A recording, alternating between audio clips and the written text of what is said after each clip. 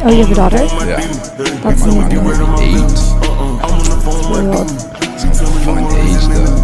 Yeah. Ice cream. Shit. Does she not eat ice cream now? Yeah, she eat ice cream now, but she can't tell me like, oh, I want the So she's three banana right now?